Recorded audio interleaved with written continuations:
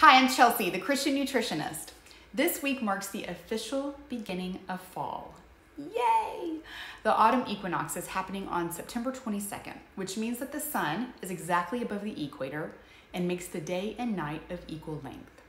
In Genesis 1:14 it says, "And God said, let there be lights in the vault of the sky to separate the day from the night, and let them serve as signs to mark sacred times and days and years."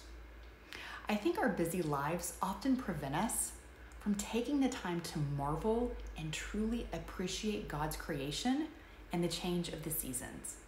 Yes, we are for sure ready and excited about cool breezes and pumpkins and wearing boots and football and the anticipation of the holidays.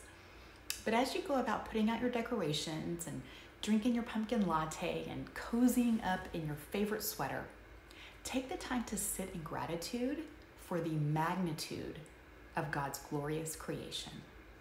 What if we didn't have seasons? What if the earth never changed position and the weather never varied? We take for granted that this is a gift from God. So say a special prayer of thanks this week for God's provision, His steadfast presence, and His perfect creation. Happy fall, y'all. Here's to a new season.